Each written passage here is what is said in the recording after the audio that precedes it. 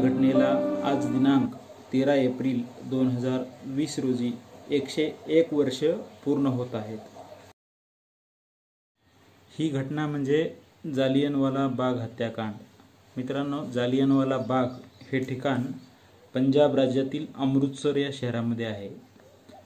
पंजाब राज्यातील अमृतसर या शहरामध्ये तेरा एप्रिल एकोणीसशे एकोणीस साली क्रूर कर्मा अधिकारी जनरल ओडवायर ब्रिटिश जनरल अधिकारी होता.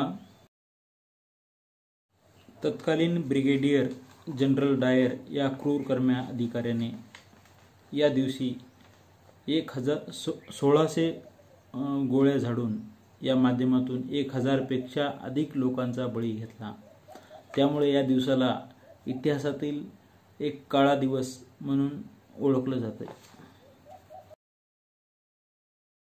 नॉलेज कट्टा या चॅनलला सबस्क्राईब करायला आणि जवळील बेल आयकॉन बटन दाबायला विसरू नका. त्यामुळे माझे नवनवीन व्हिडिओ तुम्हाला अपडेट मिळत राहतील आणि त्यामुळे तुम्ही व्हिडिओ मिस करू मिस करणार नाही. मित्रांनो एकोणीसशे चौदा ते एकोणीसशे अठरा या कालावधीमध्ये चाललेलं पहिलं युद्ध संपलेलं होतं. आणि इंग्लंड व त्यांच्या मित्र राष्ट्रांनी हे युद्ध जिंकलं होतं. या युद्धामध्ये भारताने इंग इंग इंग्रजांना खूप मोठ्या प्रमाणावर मदत केली होती. पंधरा लाख भारतीय सैन्य इंग्रजांच्या बरोबरीने लढण्यासाठी इंग्रजांना मदत करण्यासाठी भारताने पाठवलं होतं. आणि इंग्रजांनी देखील भारतीयांना असं आश्वासन दिलेलं होतं की स्वात या युद्धानंतर तुम्हाला टप्प्याटप्प्यानं स्वातंत्र्य दिलं जाईल. परंतु जसं इंग्रजन इंग्लड इंग्रजांनी युद्ध जिंकलं तसं त्यांनी भारतातील चळवळी क्रांतिकारी चळवळी दडपून टाकण्यासाठी आणि भारतावर वसाहतवाद आणि साम्राज्य पसरवण्यासाठी हळूहळू पाऊल उचलायला सुरुवात केली.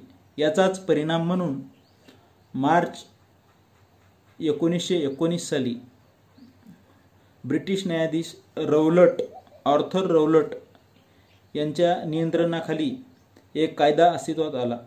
या कायद्याला रौलट कायदा असं म्हणतात. मित्रांनो हा एक काळा कायदा होता.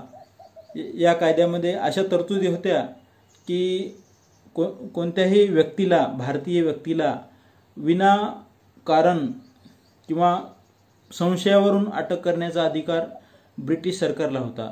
त्याचबरोबर त्या व्यक्तीला आपल्या अटकेबद्दल विचारण्याची सुद्धा परवानगी या कायद्यामध्ये नव्हती.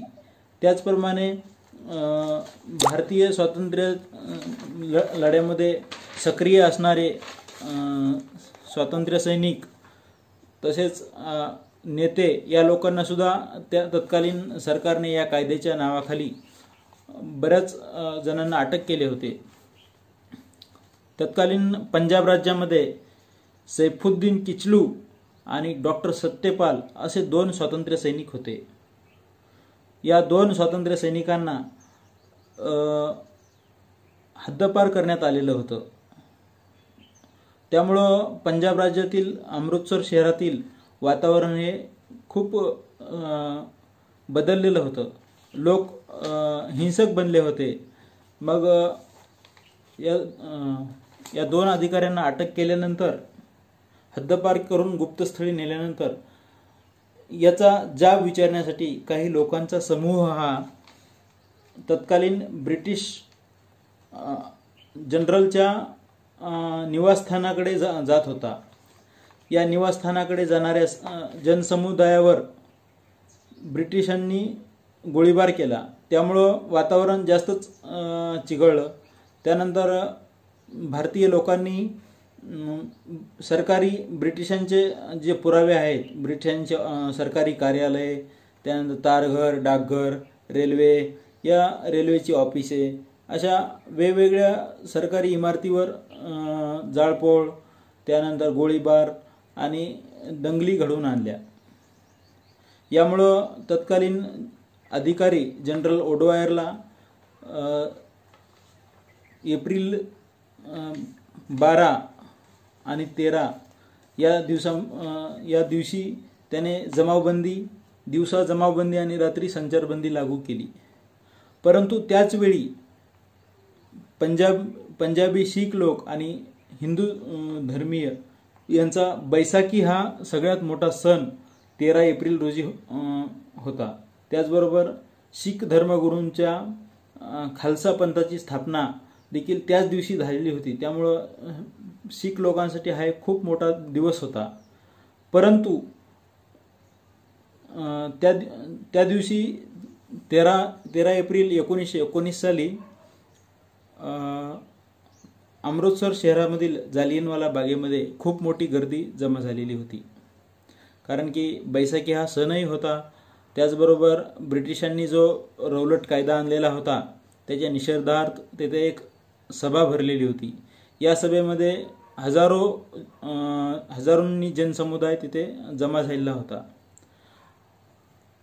मग जनरल ओडवायर हा जो ब्रिटिश जनरल अधिकारी होता या अधिकाऱ्याला असे वाटले किंवा जनता आपल्या आपल्या नियमांना झुगारत नाही. आपले नियम झुगारून लावत आहे. तर त्यामुळे ह्या ब्रिटिश अधिकाऱ्याने काही लष्कर सोबत घेऊन जालियनवाला बा बागेला बागेमध्ये अंधाधुंद गोळीबार केला. सोळाशे ते सतराशे फैरी गोळ्या झाडल्या. आणि या अंधाधुंद गोळीबारामध्ये खूप हजारोपेक्षा जास्त लोक जखमी झाले. काही लोक मारले गेले. तर या घटनेचा निषेध म्हणून लोकांनी खूप मोठ्या देशामध्ये लोकांची एकी वाढली. हीच घटना भारतीय इतिहासामध्ये आणि जगामध्ये एक काळा दिवस आणि एक निंदनीय घटना म्हणून ओळखली जाते. मित्रांनो या घटनेनंतर तत्काळ नोबेल पुरस्कार विजेते रवींद्रनाथ टागोर यांनी ब्रिटिशांकडून मिळालेल्या सर या पदवीचा त्याग केला. त्याचबरोबर महात्मा गांधींनी देखील महात्मा गांधींना देखील ब्रिटिशांच्या या क्रूर नीतीवरचा विश्वास उठला आणि त्यांनी लोकांना एकत्र करण्याचं हिंदू मुस्लिम सर्व देशवासियांना एकत्र करण्याचं काम हाती घेतलं. मित्रांनो नंतर या घटनेची चौकशी करण्यासाठी सरकारने हंटर आयोगाची स्थापना केली. परंतु हंटर आयोगाकडून त्याला काही विशेष अशी शिक्षा मिळाली नाही. त्याला फक्त लष्करातून बडतर्फ करण्यात आले. परंतु तेरा एप्रिलच्या घटनेचा साक्षीदार असलेल्या भारतीय स्वातंत्र्य सैनिक उधम सिंग यांनी मात्र जनरल ओडवायरचा पिछा पुरवला.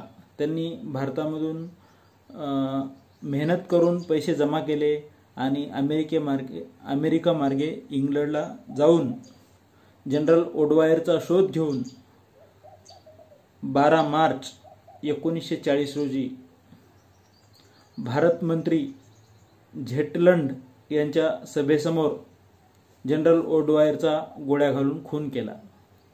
नंतर या कृत्यासाठी जनरल उधमसिंग उधमसिंग यांना फाशीची शिक्षा झाली. परंतु जो जन क्रूर कर्मा जनरल ओडवायर होता याला मात्र त्यांनी या कृत्याचा बदला घेतला. पुढे एकतीस जुलै एकोणीसशे चाळीस रोजी उधमसिंग यांना इंग्लंडच्या पेंटनविले तुरुंगामध्ये फाशी देण्यात आली. परंतु आपल्या देश बांधवांसाठी झगडलेल्या आणि आपल्या देश बांधवांसाठी आपल्या प्राणाची आहुती देणाऱ्या या देशभक्ताचा इतिहास मात्र थोडासा मागेच राहिला. मित्रांनो जालियनवाला बाग हत्याकांड या घटनेवर नंतर काही हिंदी चित्रपट निघाले आहेत. त्यांची नावे मी आपल्यासोबत देत आहे. तुम्ही यातून या घटनेचे बद्दलची माहिती घेऊ शकता. धन्यवाद. अशा पद्धतीने मित्रांनो जालियनवाला बाग या क्रूर हत्याकांडामध्ये शहीद झालेल्यांना हीच खरी श्रद्धांजली ठरेल. व्हिडिओ आवडल्यास लाईक करा शेअर करा.